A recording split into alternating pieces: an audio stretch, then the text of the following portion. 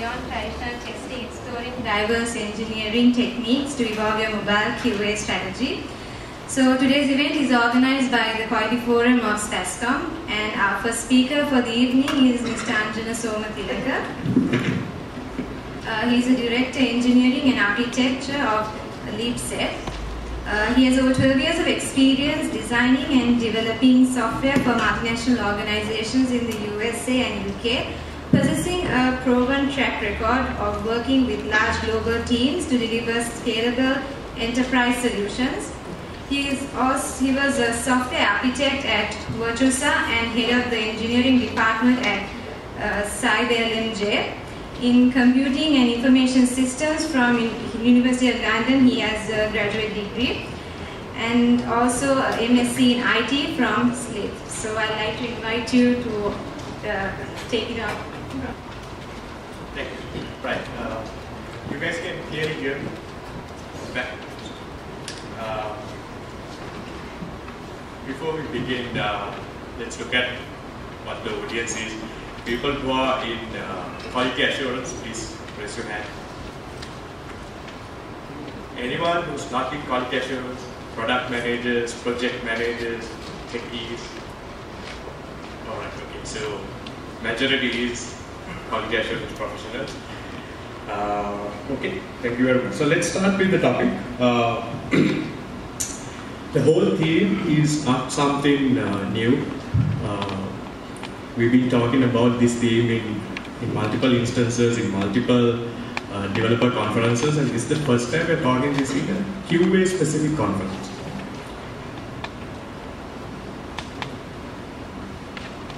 Traditional testing. Uh, what we're going to talk about today is not a replacement for traditional testing.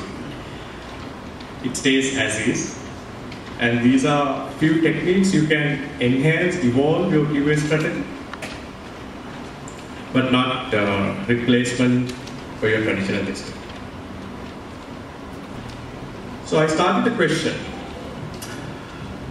Traditional testing ends when the app goes live. We're talking about mobile apps, the whole context is mobile today. Uh, in any other development, in other disciplines, you build a software, you deploy that to a production server. After that, you start monitoring your application. You start monitoring your uh, web server, a database server. But how often in mobile applications, once we, once we push the app to an app store, be it Google or Apple, we start looking at things. We simply forget the app after pushing that. So I take that as a boundary uh, in traditional testing. And this whole discussion is how we go beyond that, how we go beyond that level and improve quality in an application. Here in this context, when I say app, I'm talking about a mobile app. I'm not going to prefix everything with mobile, so most of the things that I'm going to talk about should be prefixed with mobile. When we do this, so do you guys agree? Do you guys, when you publish your mobile app, you uh, put it into App Store, do you actually worry about that outlet? Do you test that? Oh, you're done. Say, all gone. How many of your individually or in organizations monitor and test your apps once you publish your App Store? If you do so, please raise your hand. Few people. All right.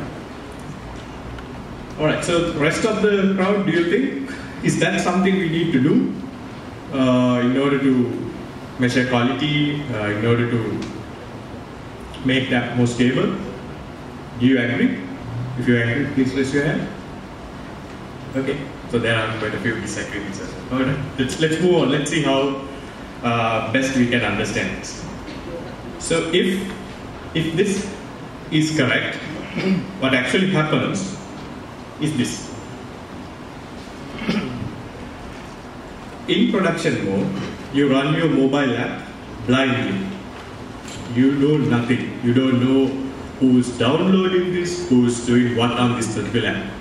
Whether people are using the app or whether people are not using is again something that you don't know. The case that you're trying to build uh, and what we try to preach and get it to you is if you want your app to be much stable and uh, highly usable, you need to go this extra step. Alright, so I, I have a story behind this talk.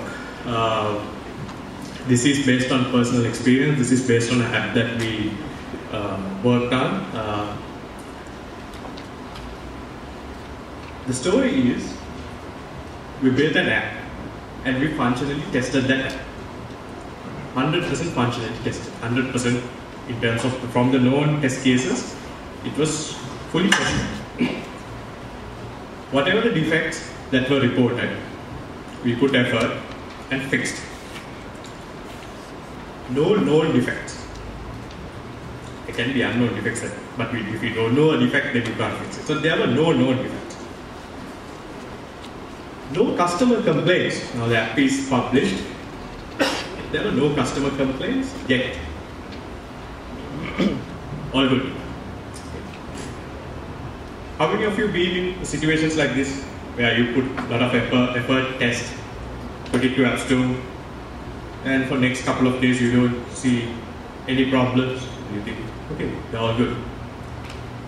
Then comes what we call uh, most highly used four keywords in the mobile world. No customer satisfaction for no reason. App abandonment, people uh, leave your app and go. Fallouts, users do not use this app anymore. People literally uninstall your app from their mobile phones. It is that bad for some reason. And the worst case is, we don't know why. We developed it, we unit tested, code reviewed, functional tested, and we don't know why people don't like it. Now what to do? Anyone in the in this forum can can anyone suggest? Have you guys been in a situation like this? Anyone who's been in a situation like this? No? Okay. You as a quality assurance professional, QA professional, what could what could you suggest in a situation like this? What can we do? This is what we do. I'm not saying this is the only way to go about it, but this is what we do. Then, after all the failures, we listen to the customer.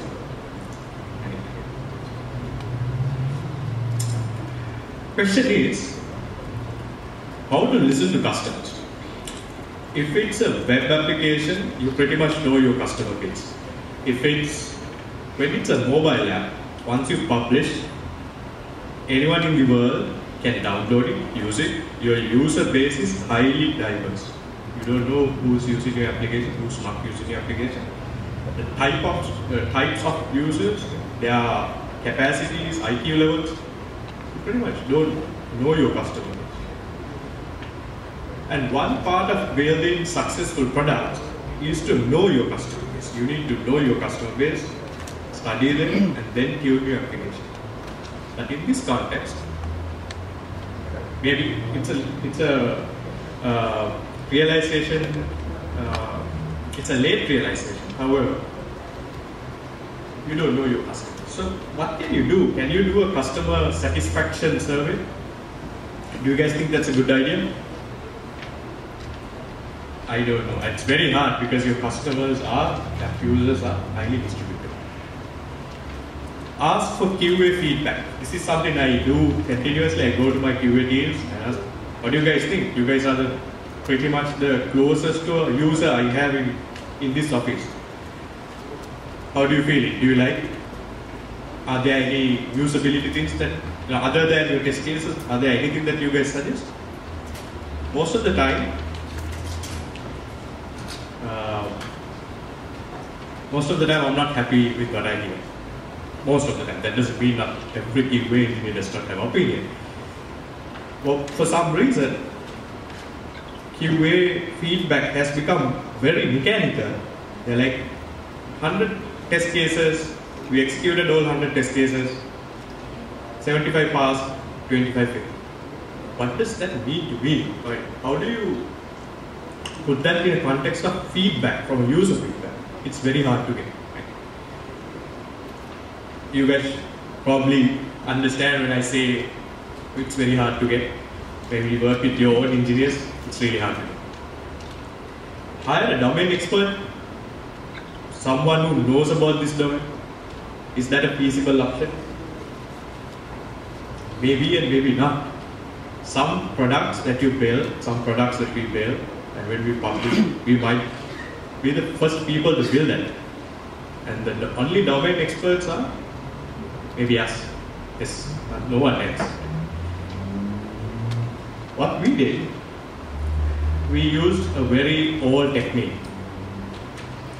called spying in a legalized way.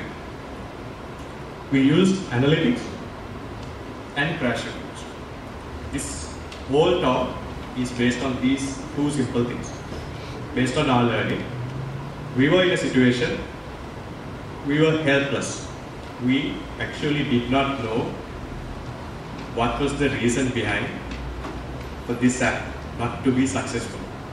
That's a very hard state to be. We as engineers, engineering staff, we put things logically. Uh, when we add two things, it sums up. It sounds very logical to us. But situations like this put us to a situation we don't know what to do. That's where the challenge, and this is how we overcome the challenge. Uh, my focus of this tech talk is not to teach or a specific tool like uh, analytics platform or a crash reporting platforms. Rather, introduce the concept to you, you guys in a very lightweight manner. I'm not going to go into pretty detail. I'm going to keep it very light. Uh, but your take home should be much wider, and you should be able to start your research, start your own uh, research, and see whether you can adapt these in your app from tomorrow itself. That's my objective. Why analytics? Customers don't give you feedback until it is very late. Some apps, they just go pop, they go viral and they become popular. Some, they don't. There's no scientific reason between why Angry Birds is so popular and why there are so many other games which are much cooler are not so popular.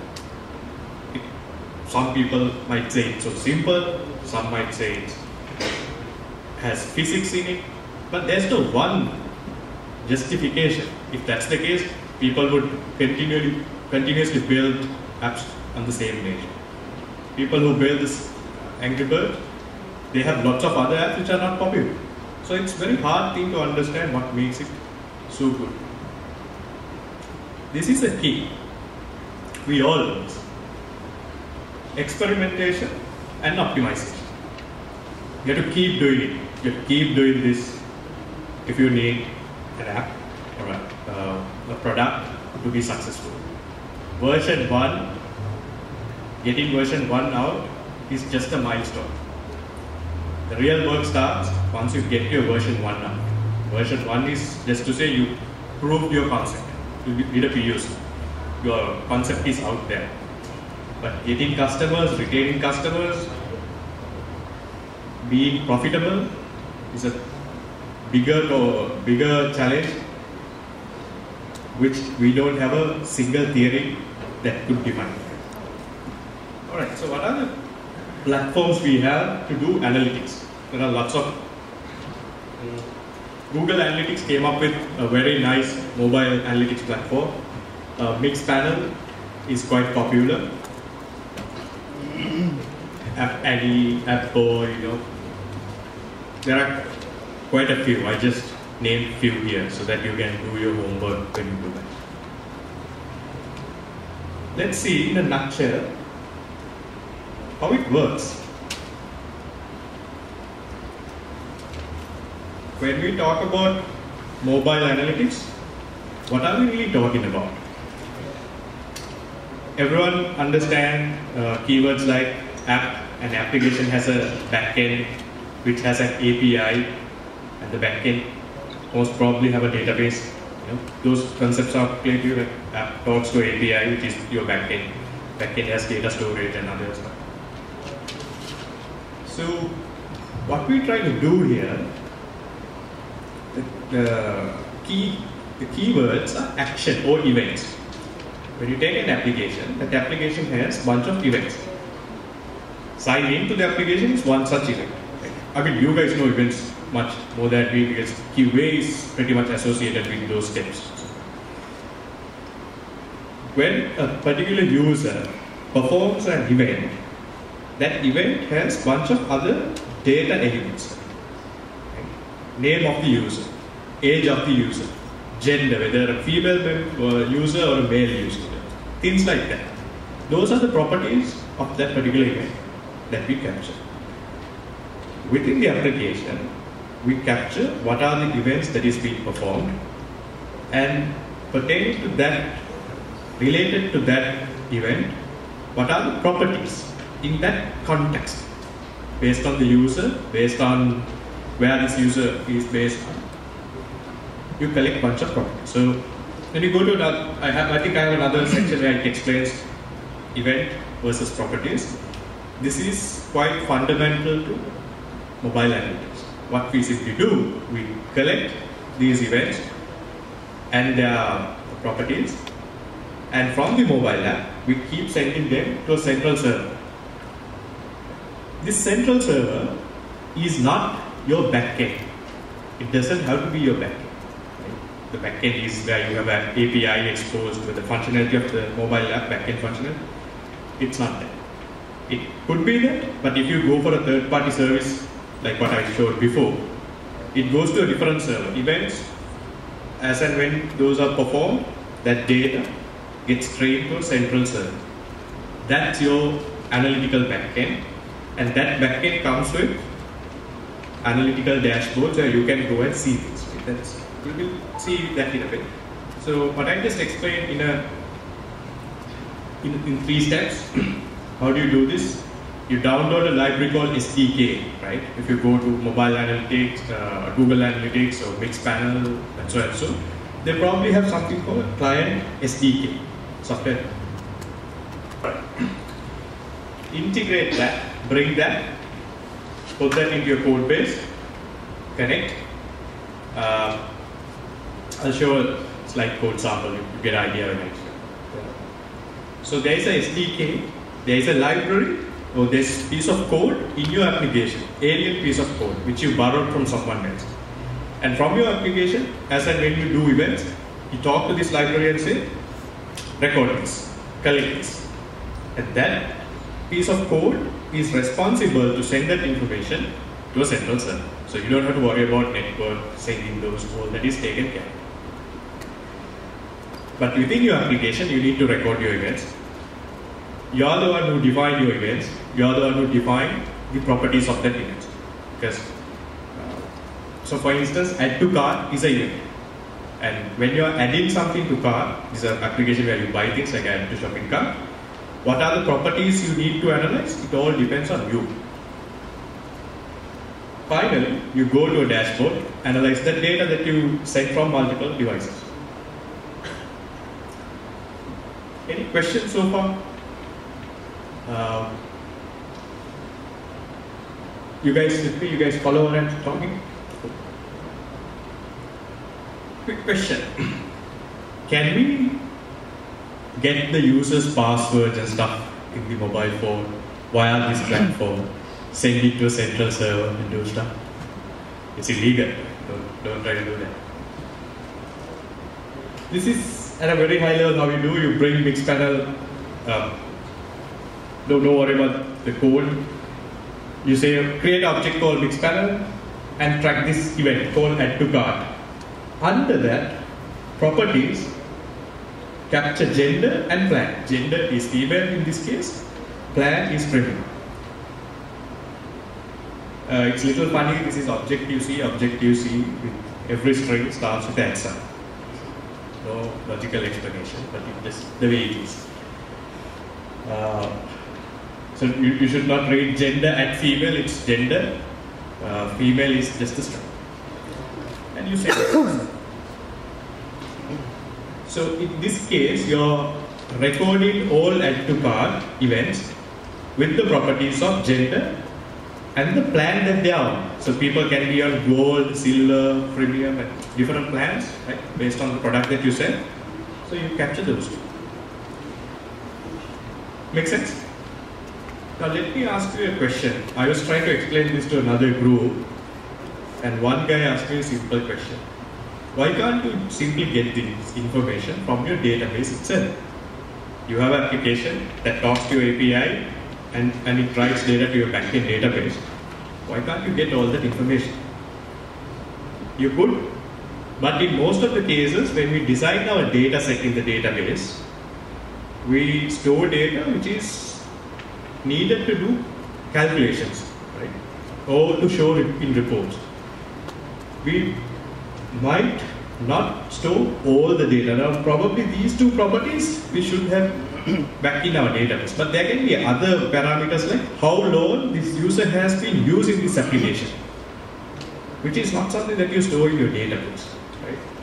How, how many minutes this user took before sending this event to the server, the session time. Those does not really matter to your database. So because of that, you don't have those in your data. So you create those properties. But the best part is when you do this, you have an analytical dashboard and your application, which are separated. So you can let uh, different people analyze your data without exposing your database and the APIs. All right, this is how you do it. You collect data, events, property, events and their properties. So events are like launch to launch app, add to cart, submit order when you are submitting an order. Some of the properties, for example, name, name of the merchant, session time that we talked about, how many minutes the user being, you know, struggling in this, playing around, playing in this particular activity before uh, submit the order, things like that. If you and you collect that, then you analyze. Theory of analyze, data analysis is you need to torture your data. You need to put your what the data guys say, massage your data, put it in different formats see whether it makes sense, whether your data makes, whether your data tells you some secrets about how the users are using this app, how the why why users are falling down. Then the most important thing is you need to act. What does that mean? We realized in one of our applications, the default values, uh, we had a very simple feature in one of our applications, tip calculator. You go to a restaurant, you get the bill, now you need to calculate the tip, uh, 10%, 15%, and if there are three guys or a group of five, how do you divide this tip? Because bill maybe $161, 15% of that is some amount, and if there are three guys, how do you divide the tip to three equal pieces or something like that? Right? So our default number was two. We thought, you know, most probably two people go, and that's where they stay. But when we look at data, the default value should uh, be ideally three. Because when we looked at data, we looked at uh, what the user changes that the default value to. The next version, we change it from 2 to 3, but there were more than 10, 15 users who have simply mentioned that, you know, app has learned and uh, that has uh, changed this, and we got some reviews. These tiny changes could take you up a long way. Remove unused buttons, unused workflows, and make your app highly usable. But be cautious about doing these changes. Uh, you need to have a good sample size and also you need to analyze your data for a valid period. Right? What we have learned, unlike in, uh, I think it's, it's even it's there in Sri Lanka. There are seasons, in those particular seasons, people behavior change drastically. How they eat, what they order, so if you simply analyze data of a, such a season, like the Avurudu season in Sri Lanka, people buy whatever the clothes that they can. But that doesn't. So if you analyze the season and try to get close to your shop in maybe you know after that in May or something, that might not be a right strategy. So you probably have to look at data for a longer period of time and then make your decisions. Make sense? All right. Now let's look at. So we know how to collect data. The library will take that data to a central server, and then you sort of play around with that data to make make decisions. Now I'm going to talk about playing around with this data. What can you do? What kind of reports are we looking at? I'm going to show you very simple three reports. It doesn't mean these platforms are capable of showing only those three kind of reports. It can show a lot more, but I just want to give you very simple three reports. Number one is called segmentation. The question is, I have a game, and in my game I have levels, and people playing that game. But I need to understand, based on the level, like level 1, level 2, level 3 of a game, how much people do score.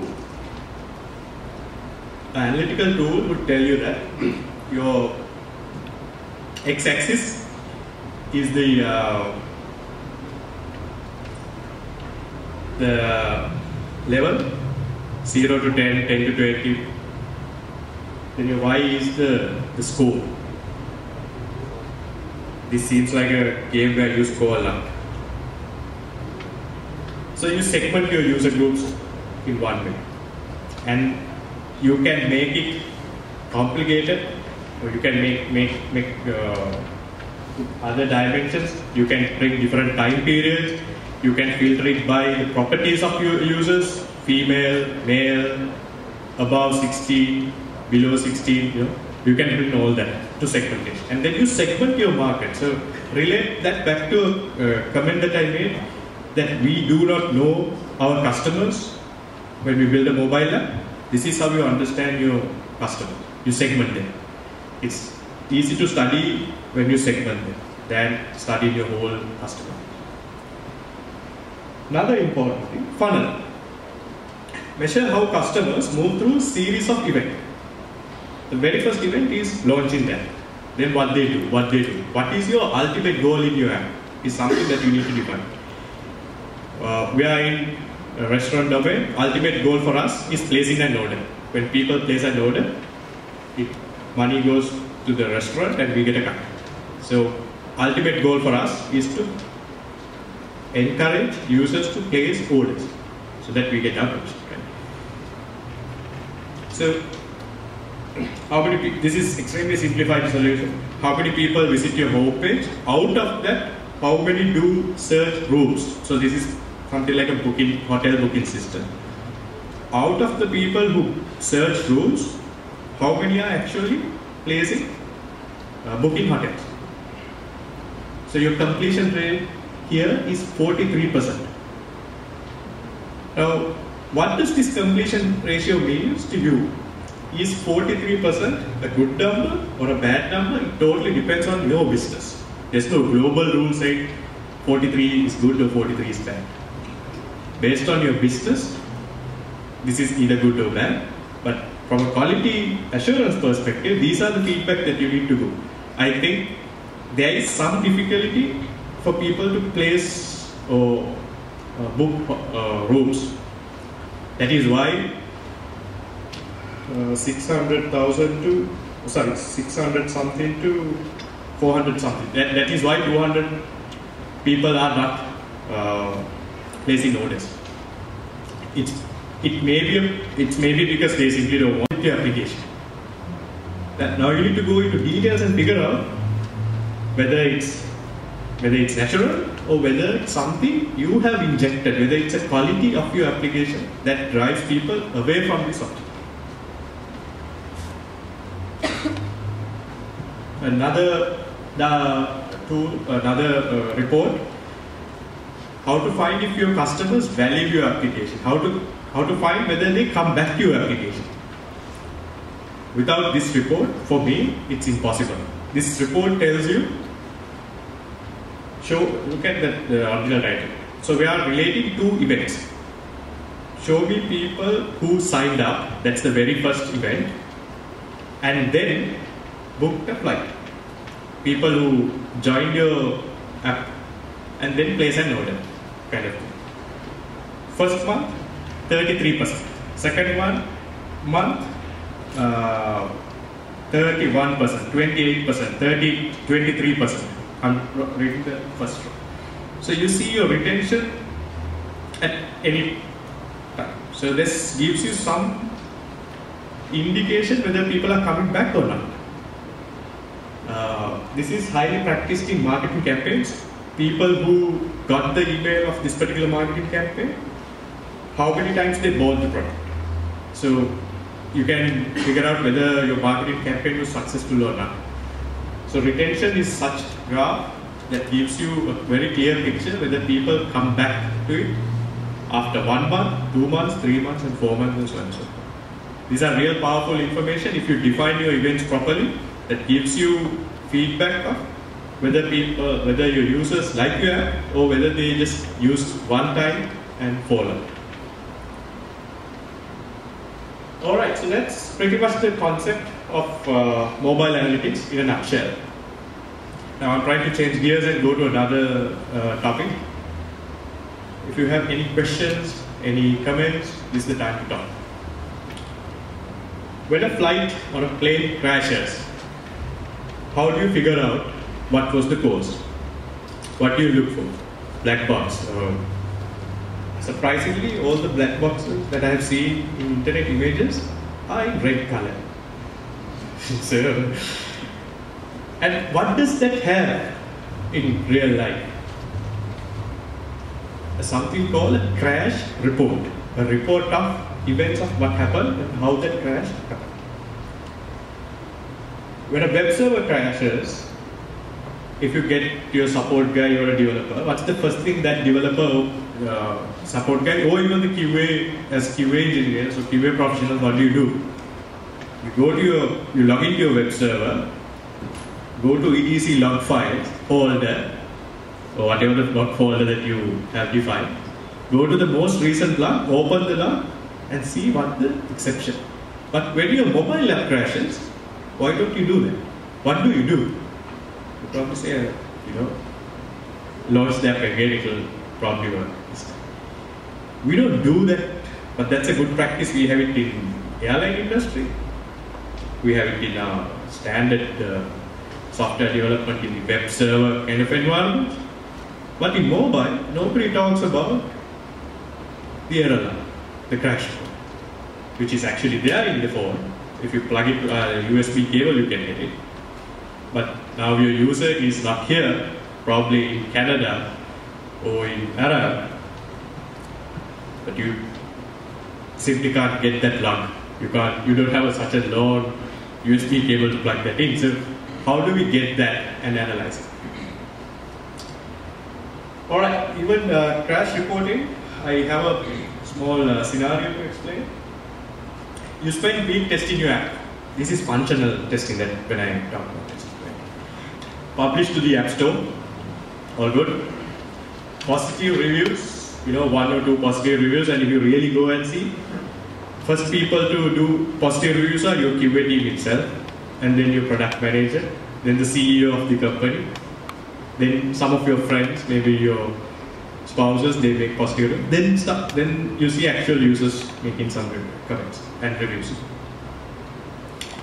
Until one user post a one star review, because there's nothing lower than one star. One star is the worst review that you can get. Saying the worst thing possible, the application crashed. So this is what you call a production defect. Right? If this happens on a web server, a big scene, a production defect, you need to have a production. Uh, nothing is worse than hearing about crashes from the user community. You really don't want your users to say, hey, this app is crashing. However, we developers and you guys in the uh, QA uh, professionals, we have a very good excuse in the mobile world. It's not just a single server that you can monitor. There are thousands of devices, operating systems, highly volatile environment, can crash anytime.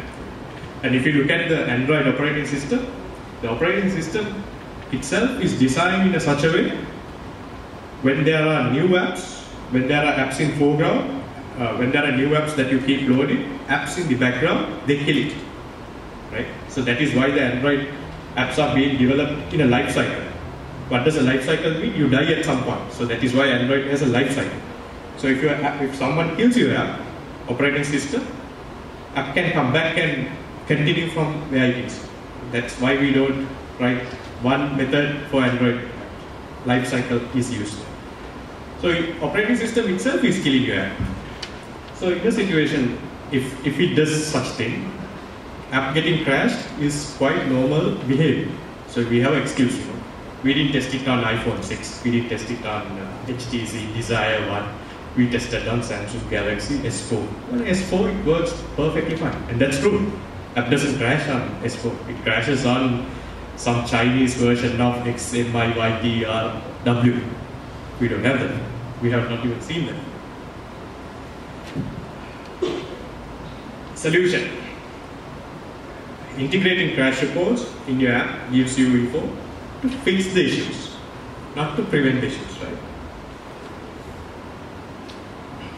App crashes are like accidents, they just happen. But if you have crash reporting, it's all about how you react, how you fix it so that it won't happen again.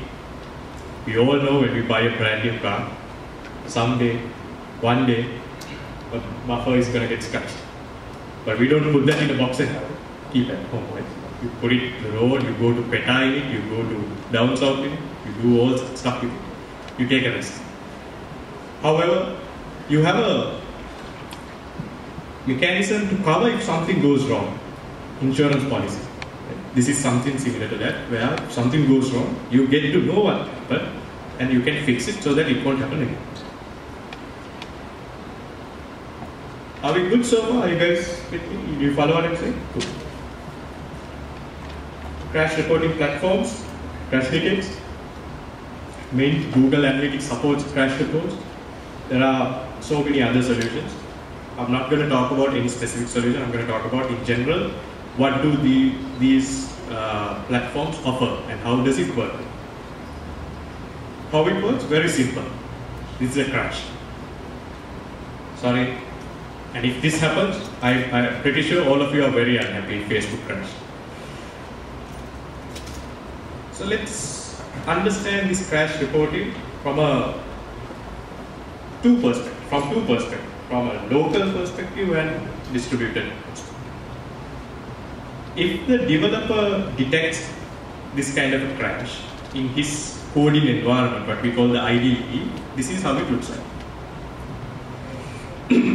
You have the code, you have the error message down under. On your left side, you have something called a stack trace. You know what method you call, what that method called, and you know that and this is the error, the way the developer sees it. What does the developer see? Uh, expecting the uh, expecting the boolean value, however the actual value is ns null. So unrecognized selector, blah blah blah. That's the reason. So null has not been handled. Instead of a boolean value, you get a null value. You have crashed. That's, that's how. Uh, fortunately or unfortunately, the uh, iOS Objective-C works. You don't put a lot of constraints to do lots of checks because then that makes your app very heavy. You keep your app ultra lightweight and the slightest thing can crash your app. But it gives you much performance.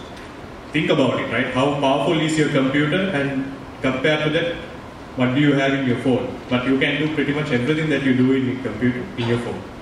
Edit your Word docs, emails, all that is done uh, how do apps run on a very limited hardware, keeping things really lightweight. That's one reason apps crash because they are built on complicated environments with limited hardware and limited uh, frameworks as well. So this is the local view. Now let's imagine the same error happens while a user is using your application. Right? We can't go to the user that user, he or she is somewhere else. But we like to see what that error is. If you have crash reporting integrated, this is what you see. You log in to a central server. Right hand top corner, three crashes. This has happened three times. How many users been impacted? Three users.